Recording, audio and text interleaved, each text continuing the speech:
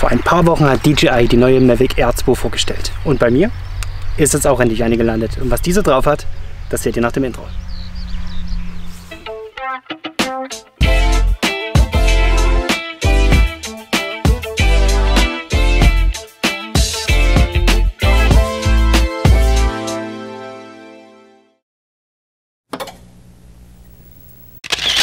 Salve Leute und herzlich willkommen zu diesem Video. Am 28.04. war es soweit. DJI hat die neue Mavic Air 2 vorgestellt.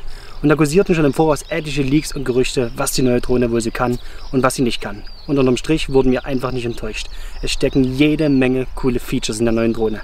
Wie zum Beispiel 8K Hyperlapse Modus, Fotos in 48 Megapixel Qualität. Es gibt einen überarbeiteten Active Track, der sich jetzt Focus Track nennt und und und. Also ich will euch jetzt auch gar nicht das Datenblatt um die Ohren haben, sondern vielmehr an dem Video heute zeigen, wie zum Beispiel die neue Fernbedienung aufgebaut ist und wie die Aufnahmen oben in der Luft aussehen. Also viel Spaß dabei. So Leute, kommen wir zunächst zur Fernbedienung. So sieht das gute Stück aus. Ihr seht, optisch hat sich ein bisschen was getan. Sie ist größer geworden, aber wie ich finde, praktischer. Das Ganze seht ihr jetzt. Ähm, das Handy selber, das wird jetzt hier oben eingespannt. Also nicht mehr hier unten wie zuvor, sondern hier oben. Ich werde das mal kurz zeigen. So sieht das dann aus. Check. Und dann ist es auch schon drin. Ich persönlich finde es praktischer, denn es geht für meine Begriffe schneller und die Antennen, die sitzen hier oben drin. Sprich, hier muss auch nichts mehr justiert werden oder ausgerichtet werden. So, ihr seht, Steuerknüppel sind hier noch nicht drin. Auch ganz praktisch, die sitzen hier unten drin. Was gerade auch für den Transport extrem praktisch ist. Denn damit schmälert man das Ganze auch. Die werden dann hier so aufgeschraubt. Und das sitzt doch alles schön sicher. Ich würde es jetzt erstmal kurz wieder abschrauben, dass ihr das quasi nochmal seht. Wie flach das dann ist, das lässt sich auf jeden Fall sehen. So, dann gehen wir mal kurz auf die ganzen Bedienfelder ein.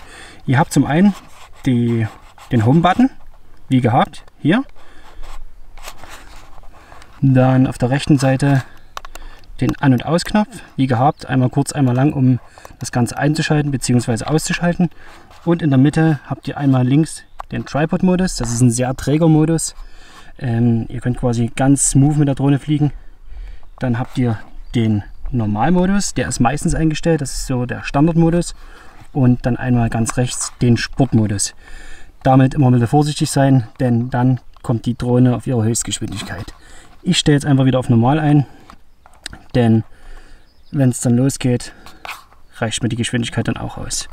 Ansonsten seht ihr das Ganze dann auch noch eingefahren, beziehungsweise ich zeige euch erstmal oben, wie das Ganze hier gemanagt ist. Wie gesagt, die Spange kann dann so reingefahren werden und unter der Spange sitzt quasi das Kabel. Das wird dann wieder so rumgeführt. Ihr habt quasi auch wieder drei Anschlüsse, einmal für Apple und wie gewöhnlich für die Android-Handys ist alles im Lieferumfang enthalten. Es wird dann so rumgeführt und dann an der Seite ans Handy rangesteckt. Hier an der Schultertaste der Auslöseknopf für Videoaufnahmen bzw. für die Fotoaufnahme. Und oben rechts habt ihr nochmal, ich ziehe mal kurz den Fokus nach, habt ihr nochmal einen Schalter, in dem ihr quasi vom Video auf Foto oder Foto auf Videomodus umschalten könnt und die ganzen Einstellungen dann auf dem Display angezeigt bekommt. Und hier links ist nochmal eine Funktionstaste, ähm, die letzten Endes dafür dient, äh, ihr könnt da glaube ich, äh, die Drohne hat unten eine Beleuchtung, eine LED-Beleuchtung. Wenn ihr die quasi zweimal kurz drückt, geht diese Beleuchtung an. Oder ihr drückt zweimal und der Gimbal wird kalibriert. Das könnt ihr aber auch nochmal selber einstellen, wenn ihr das Ganze umgedreht haben wollt. Beziehungsweise einmal drücken für Kalibrieren des Gimbals und zweimal drücken für die Beleuchtung oder umgekehrt. Je nachdem wie ihr das wollt, wird das dann in der App eingestellt. So, hier unten habt ihr nochmal so vier kleine LEDs. Die zeigen euch letzten Endes den Akkustand an. Wenn ich jetzt hier mal drauf drücke, seht ihr, die leuchten alle auf. Sprich, die Fernbedienung ist komplett aufgeladen. Ja, und das war es eigentlich auch schon. Hier unten nochmal USB Typ C Anschluss zum Aufladen der Fernbedienung. Ansonsten gibt es hier nichts mehr weiter zu erzählen. Ich finde, die Fernbedienung liegt sehr gut in der Hand. Hätte ich am Anfang nie gedacht, weil sie wirklich gewachsen ist, größer geworden ist. Aber für meine Begriffe eine coole Lösung. Eine andere Lösung, eine neue Lösung. Ach, habe ich ganz vergessen. Hier das Bedienrad noch, um den Gimbal zu neigen. So, jetzt haben wir es aber wirklich. Also wie gesagt, für meine Begriffe liegt es extrem cool in der Hand. Das Handy geht locker flockig hier rein. Und das sitzt auch bombenfest. Also hier hat man hier das Gefühl, dass hier irgendwas rausspringen könnte. Das ist wirklich sehr stabil. Genau, und das war es auch eigentlich schon zur Fernbedienung. So Leute, ich habe jetzt die Drohne schon mal mit der Fernbedienung verbunden, alles betriebsweit soweit gemacht, dass wir dann direkt starten können. Ich will euch bloß im Voraus nochmal mit in die App reinnehmen. Ich muss euch noch was zeigen, bevor wir starten. Und zwar, ihr habt hier oben das Bedienfeld Starterlaubnis. Dort gehen wir einfach mal drauf und dann können wir vor Abflug noch einige Daten festlegen, die vielleicht ganz wichtig sind. Und zwar haben wir hier ganz oben die Rückkehrflughöhe. Die ist hier jetzt bei mir auf 70 eingestellt. Ich würde es jetzt mal, hier ist es relativ frei überall, ähm, ich würde sie jetzt mal auf 40 Meter setzen. Es kommt immer darauf an, was ringsrum so ist. Wenn jetzt hohe Bäume oder Gebäude sind, dann würde ich es ein bisschen höher setzen. Einfach nur, dass die Drohne, wenn sie dann alleine zurückkommt, nirgendwo hängen bleibt. Maximale Flughöhe habe ich hier auf 100 Meter eingestellt, wie es ja auch gesetzlich so festgelegt ist. Also maximale Flughöhe bei 100. Maximale Flugdistanz habe ich jetzt auf keine Limitierung eingestellt. Ähm, ich werde es auch gar nicht so übertreiben, aber ihr wisst ja selber, rein gesetzlich, ähm, Drohne fliegen nur in Sichtweite. So, hier unten habt ihr nochmal die Option SD-Karte bzw. interner Speicher. Im Prinzip der Speicherort, wo wir die Daten festhalten. Die Drohne selber hat ja einen internen Speicher von 8 GB. Wir wollen das Ganze aber auf unserer SD-Karte speichern. Ähm, wo ich euch auch wirklich empfehle, eine ordentliche SD-Karte, eine schnelle SD-Karte zu nehmen. Denn wir filmen ja in 4K und da muss auch einiges weggerechnet werden. Besonders bei 60 Bildern Sekunde, was die Drohne übrigens auch kann. So, und darunter zeigt es lediglich nochmal an die verbleibende Flugdauer. So, ihr seht ganz oben Vorflugcheck normal. Wenn wir jetzt hier rausgehen, bei Starterlaubnis, wenn jetzt irgendeine Fehlermeldung kommt, sprich, wenn wir in irgendeinem Bereich sind, wo wir nicht fliegen dürfen, dann zeigt uns das auch hier oben links an. Also sprich, wenn irgendwas nicht stimmt, bei mir jetzt gerade war der Gimbal blockiert, ich hatte den Gimbal-Schutz noch drum, musste ich natürlich abmachen, zeigt mir das, das hier oben noch an. Also ich weiß genau, wenn irgendwas nicht hinhaut, dann steht das hier und dann habe ich noch Zeit, das gerade zu rücken. Ja, und dann kann es auch schon losgehen. So, jetzt noch mal ganz kurz zur App. Ich will euch die ganzen Funktionen in einem extra Video noch mal alles in Ruhe erklären. Also hier gibt es noch allerhand einzustellen. Das würde jetzt bloß den Rahmen des Videos einfach sprengen. Also nicht, dass ihr euch wundert, das war jetzt bloß vorab eine kleine Info vor dem Flug, was man einstellen kann. Es gibt natürlich viel, viel, viel, viel mehr in der App einzustellen. Aber das, wie gesagt, in einem separaten Video. Jetzt aber viel Spaß.